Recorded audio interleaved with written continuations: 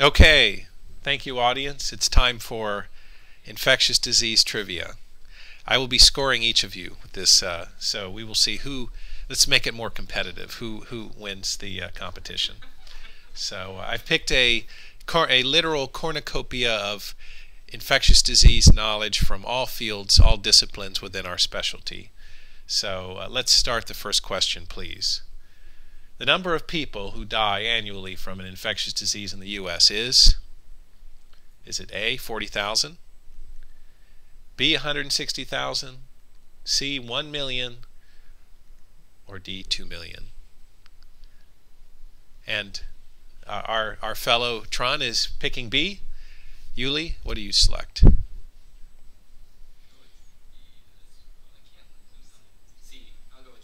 Okay, so we have a B and a C. The correct answer is B. Over 160,000 people in the United States die yearly with an infectious disease as the underlying cause of health. So we have, uh, I, will, I will mark our, our scores. So uh, our fellow Tron is in the lead here. Congratulations, Tron. But there's plenty of questions to make it back, Yuli. Okay. Uh, question two, name that fungus. Is it A. aspergillus, B. fusarium, C. zygomyces, or D. penicillium? Yuli, what's your answer? Okay. Trun? Aspergillus? The correct answer is, oh, I'm sorry.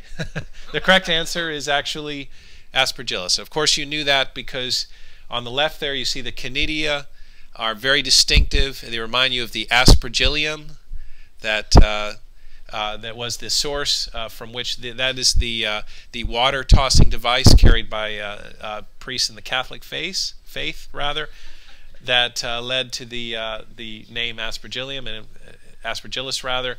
And then you see on the right hand side here, you see these the what are the distinguishing marks of of of the morphology here that led you to believe it was aspergillus. The uh, septated hyphae branching at 45 degree angles. Very good. Now I should mention some of these were were tailored for a wide variety of the audience, and I have very astute and seasoned clinicians, so this was probably very easy to them. All right, let's move forward here. Okay, now now we're getting a little harder. Okay, what titan of infectious disease used this instrument in his work? This is from the historical facet of infectious disease. Was it A. Robert Koch, B. Joseph Lister. C. Louis Pasteur. Or D. Sir William Osler. Okay, now I know uh, Dr. Heinzel knows this. So what was Robert Koch known for, Tron? Yuli? So he was the uh, great, uh, I believe, German uh, scientist known for his Koch's postulates uh, the uh, the steps necessary in the identification of an organism. Do I have that right, uh, Fred? Okay. Uh, Joseph Lister, what was he known for? Antisepsis. Right, so he was known as the father of antisepsis. Louis Pasteur, pasteurization, and uh, what else, Fred? Vaccination, uh, his uh, steps towards vaccination uh, and immunization, and Sir William Osler, of course, not necessarily a titan of infectious disease, a titan of medicine, but nevertheless who had much to say about uh, the diagnosis of infectious disease syndromes like endocarditis. Okay.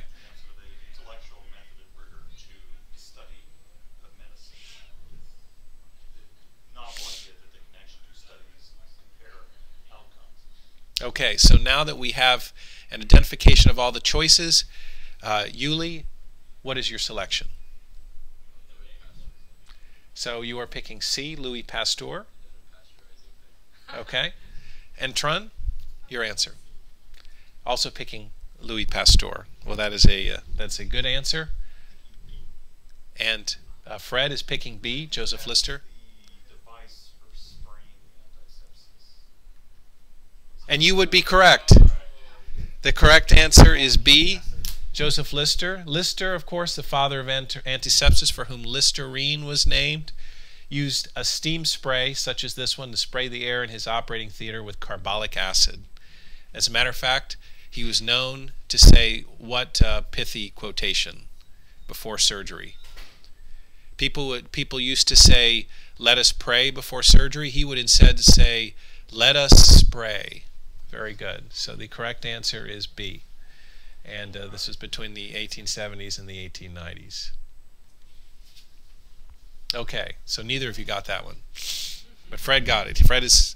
Let me put Fred up here. So, so Fred, you. I think you're in the lead, Fred. I think you got. It's two. It's two to two to one. Okay, name this RNA virus's favorite non-terrestrial host. To answer this question, you have to know the virus and then know what its non-terrestrial favorite host is. So, what are we looking at here? So rabies, do we have an agreement? Okay. So, and what is this? Oh, actually, Morella has joined us. So, uh, name this RNA virus's favorite terrestrial, non-terrestrial host. What is this virus? Okay, we've had uh, we've had uh, a somebody's two of us have selected rabies. Fred, do you agree? Okay. So what is its favorite non-terrestrial host? Fred, you know this because I was making the slide. Uh, that's right. Okay, so uh, I'm getting at the bat. Okay, so all right. So uh, I think both of you got that. So I'm going to give you credit. All right. Very good. But I believe uh, Fred is Fred. I think got this one too. So it's Fred. Tron is in second. Yuli's in third. Okay, again, now this is totally easy for all of you. So uh, name this gram-negative, catalase positive, oxidase positive, lactose negative aerobic rod that produces pyocyanin.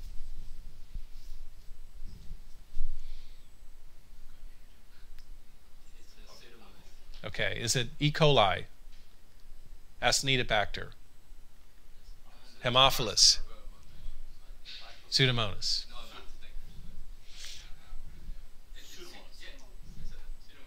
Pseudomonas. Pseudomonas. That is correct. The correct answer is Pseudomonas. Now, what is pyocyanin and what, how is it important to Pseudomonas? What's that?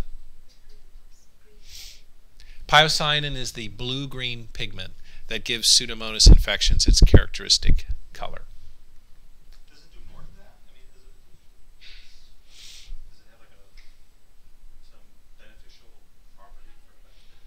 That I, I, I was not able to uncover that, but that is a good question.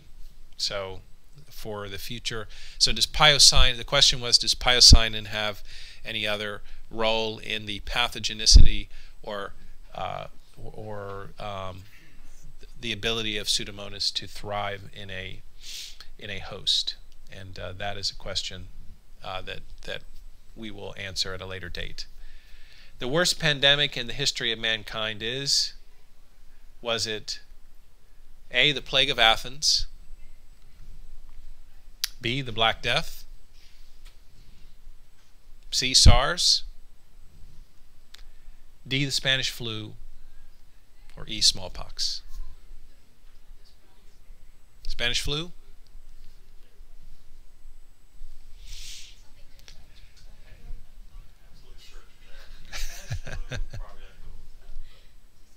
okay, we have we have agreement there, the Spanish flu. All right.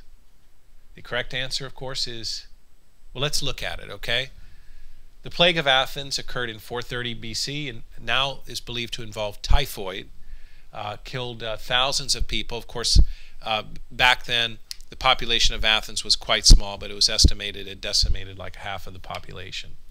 The Black Death occurred in the 1300s, estimated uh, 75 million dead in Europe uh, decimated the population in, in Britain, for example. In England, it was estimated that 50% of people died. The grand total was 75 million. SARS, of course, in 2003, the coronavirus, 800 dead.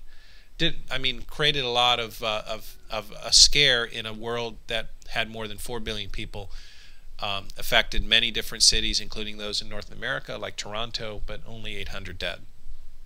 I think the case fatality rate was about approximately 10%. Spanish flu, 1918 19, worldwide 50 to 100 million. Smallpox, however, takes the cake. It's estimated in the 20th century that it, it killed, uh, actually, that's in error, 300 to 500 million. So, uh, smallpox is the worst pandemic in the history of mankind. Uh, with Spanish flu actually being a close second, but uh, the Black Death certainly is right up there. So remember, smallpox is the worst pandemic of mankind. So the answer is smallpox. All of you missed that. The most common contagious disease is is it Mycobacterium tuberculosis? The common cold spread by rhinovirus. Influenza virus or human papillomavirus. This is a toughie. So Trent says rhinovirus. Yuli? Everyone says rhinovirus. Fred, are you going to disagree? What are you saying?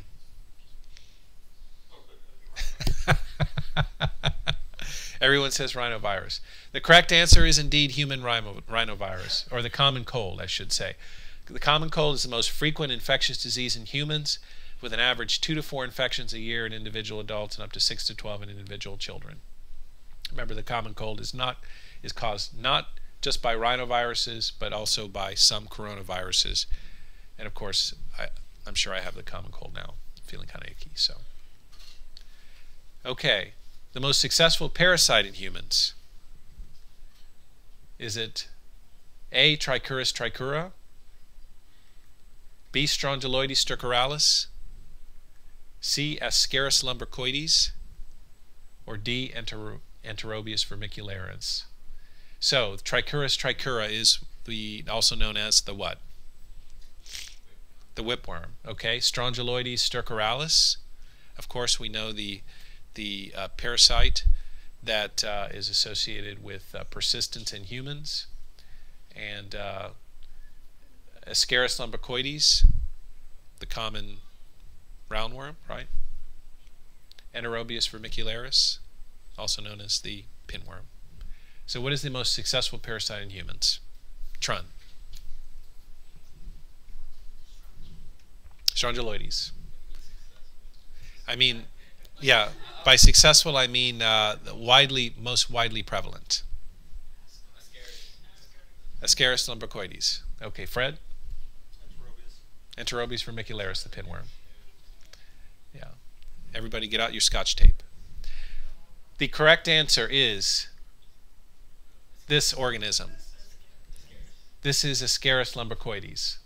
So um, it affects approximately 25% of the human population, and victims are usually infected with up to 20 worms. Of course, uh, we know about the pulmonary syndromes, Loeffler syndrome with uh, Ascaris, and it has an estimated penetration of 1 billion people worldwide. Each female worm produces approximately 200,000 eggs per day. Um, 27 million eggs during its lifespan. So uh, the answer is Ascaris lumbricoides.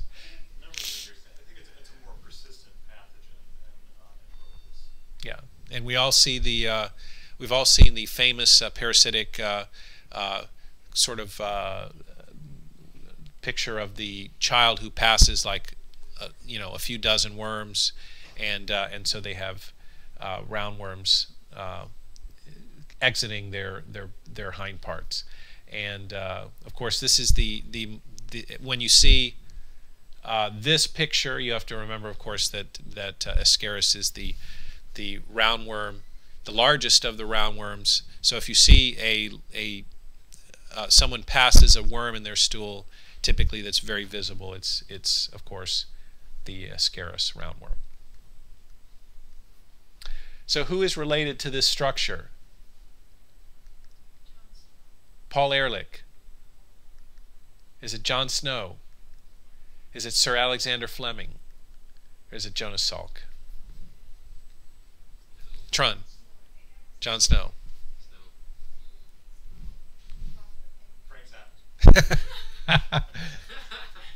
so you all know this because I you, I passed around these pictures uh, earlier last fall. So of course this is so who is Paul Ehrlich? Let's go through and, and make sure we remember all the titans of infectious disease.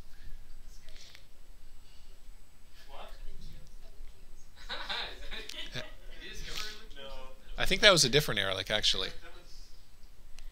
Paul Ehrlich, as I recall, is an entomologist and and uh, American scientist who wrote. Um, I think he wrote the the uh, book, the the population bomb.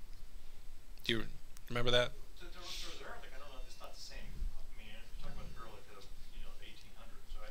Uh, mm, am I? I think there are several Ehrlichs. May, perhaps the Ehrlich I'm talking about is a more recent vintage. Maybe I maybe I meant to refer to the ancient, to the Ehrlich of the 1900s. So uh, anyone who's keeping score at home, you can you can send me a protest about this question. Sir Alexander Fleming, of course, is the father of penicillin, right? So he is known for his discovery of penicillin. And Jonas Salk invented the first the polio vaccine, the first effective polio vaccine, right? And uh, um, so this is the monument uh, dedicated to John Snow, who of course is known as the father of epidemiology, because he was able to have an association with a well pump and its use and cholera in London in the 19th century. And if you go to this area today, they have this monument dedicated to him, uh, John Snow. And the, the structure in the distance is the John Snow Pub. The irony here, of course, is he was a huge uh, uh, uh he is a huge believer in uh, the temperance movement and was an avowed uh, avowedly opposed to alcohol consumption, but nevertheless they named a pub in his honor, and you can go in the John Snow pub to this day. So again, a, John Snow was a British physician and leader in the adoption of anesthesia and medical hygiene, and he was a, a, great force in uh, curtailing this major cholera outbreak in London. Now, if you read more about this, actually, the, the cholera outbreak was already starting to quell at that point, but because he made this great association with the pump the Broad Street pump, he is still recognized for his contributions. Okay, so Paul Ehrlich, there are two Paul Ehrlichs. The one I was thinking of, born in 1854, German immunologist, and his contribution was uh, basically uh, staining for microscopic tissue substances. He's able to identify TB. Yeah, I, I remember him because he was a, a chemist and he was. So there's two Paul Ehrlichs. Yeah. So this is the earlier Paul Ehrlich. Everybody scoring at home, please uh, make note of that. yeah. Uh, where and when was the deadliest E. coli foodborne disease outbreak? Okay, was it Mexico City, 1996? New Orleans, 2005? United Kingdom, 1998? Or the Haley VA cafeteria, 2010? Okay, Trun. You're saying D. it's probably true. You heard about that, actually. Yuli.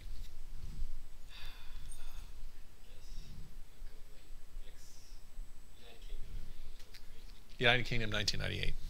Morella. New Orleans, 2005. You know, that was during Hurricane Katrina. Maybe perhaps it could have been. The correct answer is actually, and this is still the case even after all these years, it, the correct answer is 1998. Uh, that would be uh, United Kingdom, 1998.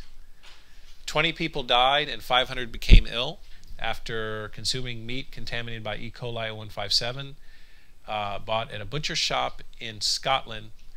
And uh, again, this is still the deadliest E. coli outbreak now, even 12 to 13 years later. So it emphasizes the importance of uh, uh, of making sure that your meat products are pure and also the fact that uh, E. coli um, 0157 can contaminate um, meat products from a butcher.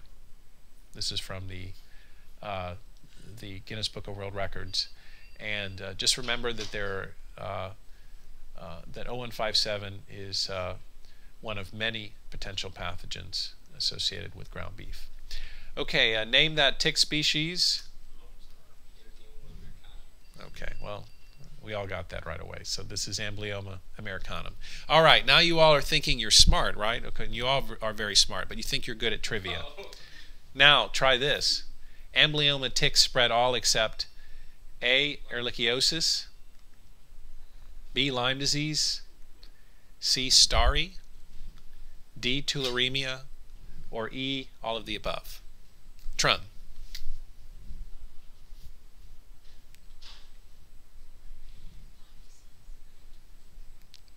All right, so what are you saying? So all except Lyme disease B. Yuli. Lyme disease B. Morella.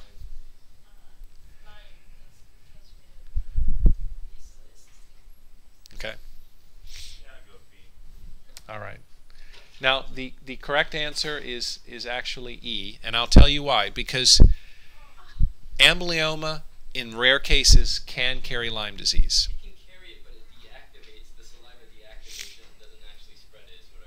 So we are working here on a technical point, but nevertheless, it can still carry Lyme disease in rare cases, even though it inactivates it. So again, I think uh, let's we'll, we'll have to contact the Guinness Book of World Records here, and and you can uh, you can uh, uh write your protest for this question. We may have to throw this one out.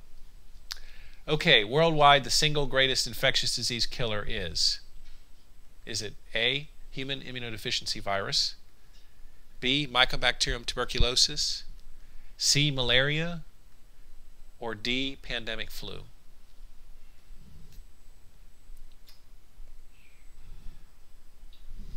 Trun. So you're going with B. Yuli? Morella? Fred?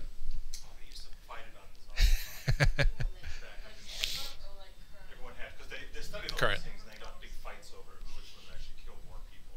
Uh, malaria kills more children than TB, but I think TB still is top of the list. Now, if you throw in HIV and TB together, then there's an unholy synergy. Right. That's that's the, the biggest epidemic right now. Okay.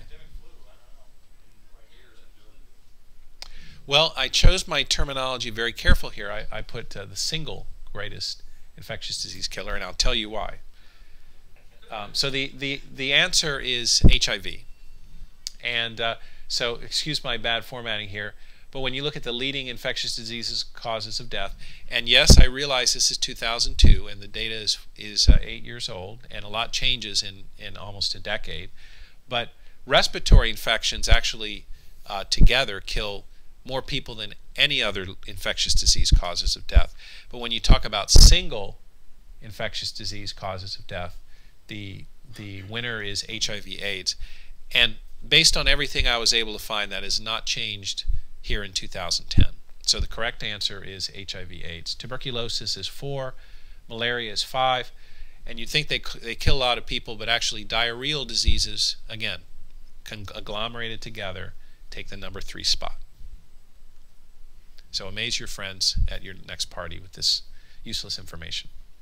And you can see this is the latest slide. Adults and children estimated to be, living with HIV. Uh, and we all know that sub-Saharan Africa has more cases than any other place in the world combined. That is still the case. Newly infected, again, same thing. Sub-Saharan Africa, 1.9 million. And the countries with the highest HIV/AIDS prevalence, we know that uh, the, that almost all of them are in sub-Saharan Africa. The country with the highest infectious disease rate is A. Haiti. B. Afghanistan. Now keep in mind, this is rate. C. Sao Tome and Principe. D. Russia. Trun. Sao Tome and Principe. Yuli. You're saying D? Haiti. Okay, A. Morella. D. Russia. Okay?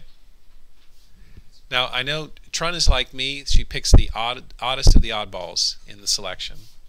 So the correct answer is actually C, Sao Tome and Principe. And don't ask me why, but according to the Guinness Book of World Records online edition, this has the highest number of deaths due to infectious disease, an astounding 241 per 100,000. In comparison, the U.S. had only 65 deaths per 100,000 in 1992. Well, you'd be delighted to know that Sao Tome uh, um, visitors' website says it, it is a um, jungle paradise. and that may be it. So here's some more information from the from the WHO fact book. Again, this is uh, uh, again a, a heavily agricultural uh, type of economy, and there have been uh, in at least throughout the 1990s and the early part of the last decade, uh, continual political instability, frequent changes in leadership, and coup attempts. And uh, as a result, that that is uh, said to be the reason why this has the highest infectious disease rate in terms of causes of death. All right. The most common pediatric cause of death, is it? Oh, I'm sorry. True or false? The most common cause of death in small children is infectious disease. Is that true? Worldwide. True or false? Worldwide. Oh, yeah. Okay, everybody's agreeing yes. That is true. In 1998, again, latest I have statistics, the most common cause of death among children was infectious disease, which two thirds of all death in small children is due to infectious disease. We can see that here. Uh, child mortality in the six World Health Organization regions, and of course, Africa, particularly sub Saharan Africa, leads. And uh, these are leading causes of death in children in developing countries. And you can see that uh, lower respiratory infections, diarrheal diseases, malaria, measles, HIV, AIDS, pertussis, tetanus uh, cause the vast majority of etiologies among the top 10. Jenny McCarthy isn't up there. no, there's no autism there. But let's not pick on her. You know, she just broke up with Jim Carrey and everything. It's, she's on the ropes. Okay, Fred, I do not want you to answer this. Xenotropic murine leukemia related virus has been associated with. That's right, XMRV.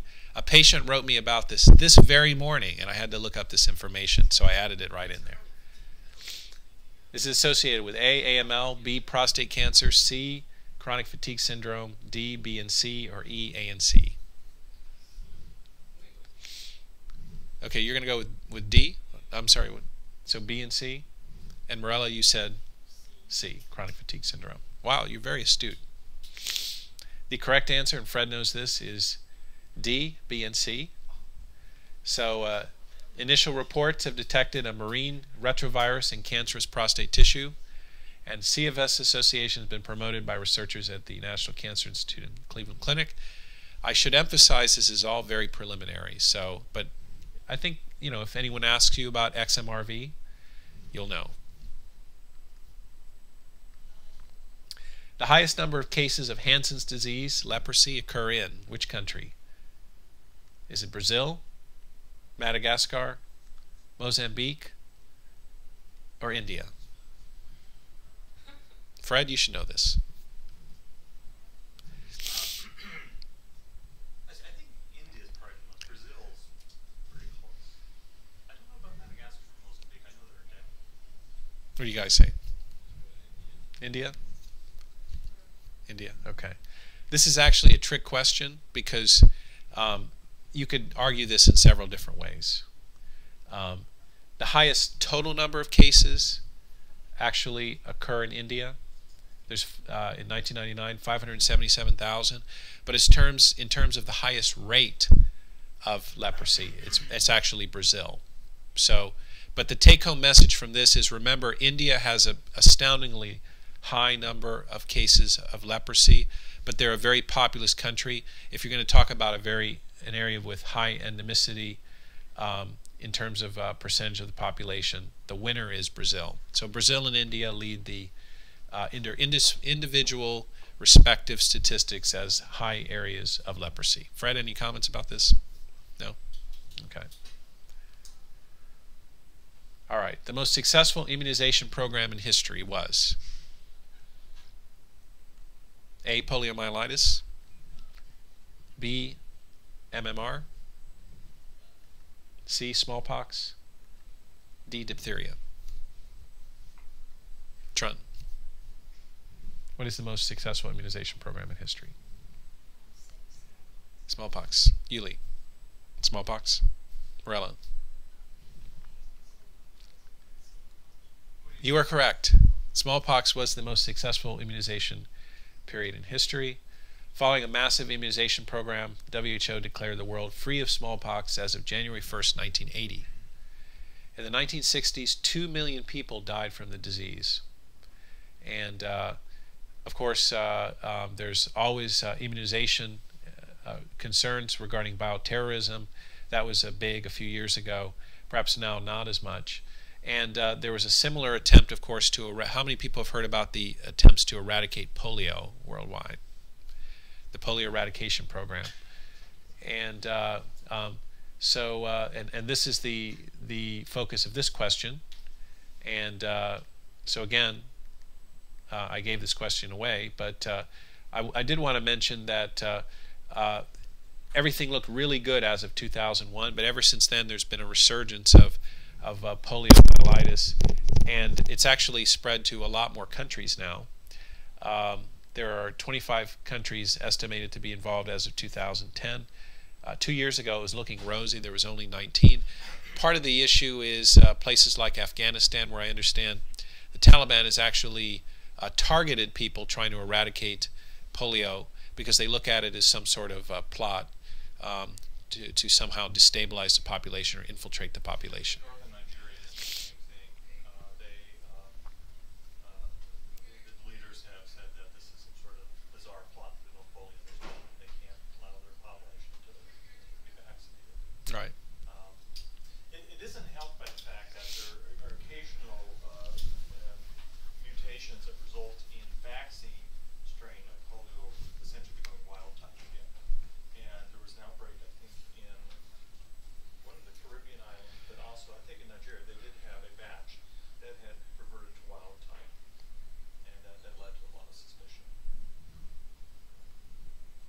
And you can see here, this is uh, areas of uh, wild poliovirus um, as far as countries of the world. Uh, this is the latest statistics. So we'll move on. Edward Jenner was best known for A, rabies vaccine. B, he was an Olympic athlete. Actually, that's Bruce Jenner. Sorry. Uh, C, cause of puerperal fever. Uh, D, smallpox vaccine. So what was Edward Jenner best known for? D, so the cause of smallpox vaccine. That is actually correct. So Edward Jenner is widely credited as the pioneer of smallpox vaccine and is sometimes referred to as the father of immunology. Any comments about this, Fred? You have a picture of Edward Jenner on, on, on your uh, on your office wall, don't you?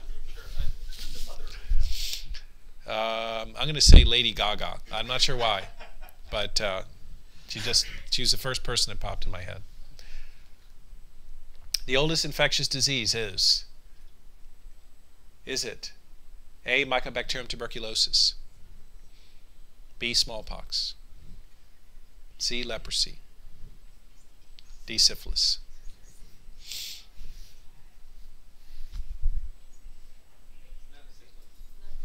Leprosy. Fred?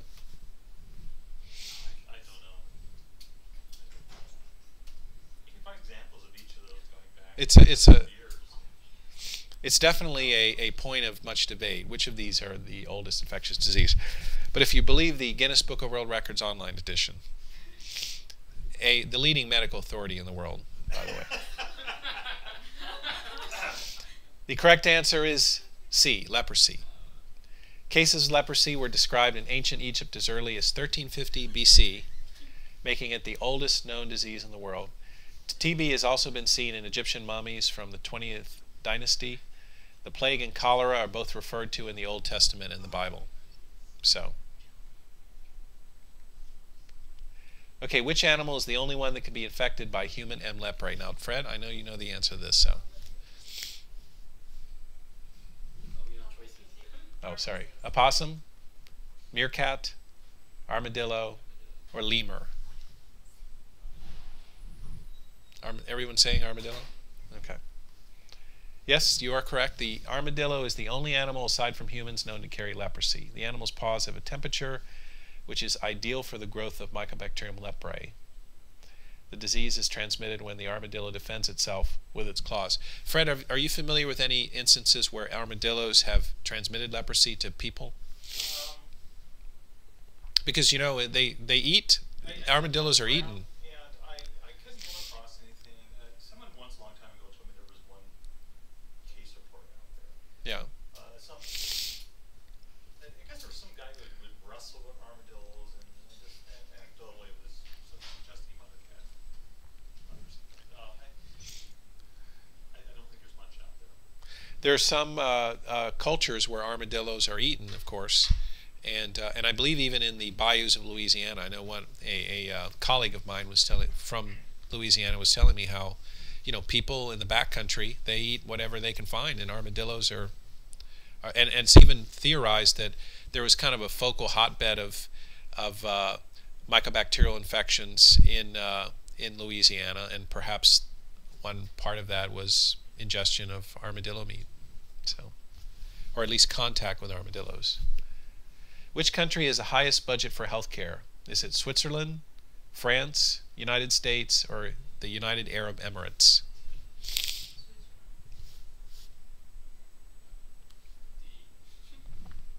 United Arab Emirates. Tron. I'm sorry? France? So this is the highest, the, the country that spends the highest on healthcare. It's actually the U.S. According to the World Health Organization, the United States government spent $5,200 per citizen on healthcare in 2002. So we spend more than, than anyone else. But yet, we are not the top ranked healthcare system. In fact, we are far from it. Yes. So, thus the, the debate over our healthcare dollar. We're spending too much on armadillos. I think that. That's got to be it. Name three of five drugs listed below that interact with rifampin. A. Amprenavir. B. Calcium channel blockers. C. Warfarin. D. Septra. E. Statins. So name three of five drugs that interact with rifampin. So warfarin C. D. Septra. E. Statins. So I'm sorry, we have warfarin, statins, what else? Amprenavir. So what we're what the audience is saying is A, C, and E.